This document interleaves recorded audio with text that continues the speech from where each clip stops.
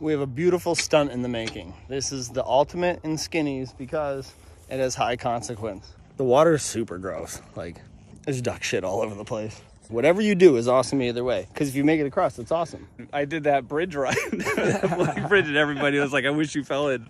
So you might get exactly what you hope for. Yeah, I don't know. Okay, Lenosky, you got this, buddy.